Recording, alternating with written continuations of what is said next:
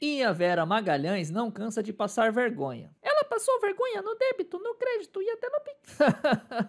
é verdade, pé de pano, você tem razão. Ela dizia que o capitão Bolsonaro ia se dar mal lá na Rússia, mas não foi bem isso que aconteceu. Não, play! Sim, pé de pano. Vamos ver o que ela falou aí chegada do Bolsonaro é, foi uma chegada ali cercada de muitos cuidados, ainda mais no caso do presidente brasileiro que sabidamente não se vacinou. Vai ser mais rigoroso ainda, deverá repetir aquela cena daquela mesa enorme em que ele se encontrou com Emmanuel Macron. Então a reunião efetivamente com o Putin deverá ser naquela situação em que ficam muito apartados. A few moments later. Só que a expectativa foi muito diferente da realidade. O Putin tratou muito bem o capitão Bolsonaro pé de pano. Realmente, a Vera Magalhães nem acreditou no que ela assistiu. Ela passou vergonha. Verdade, pé de pano.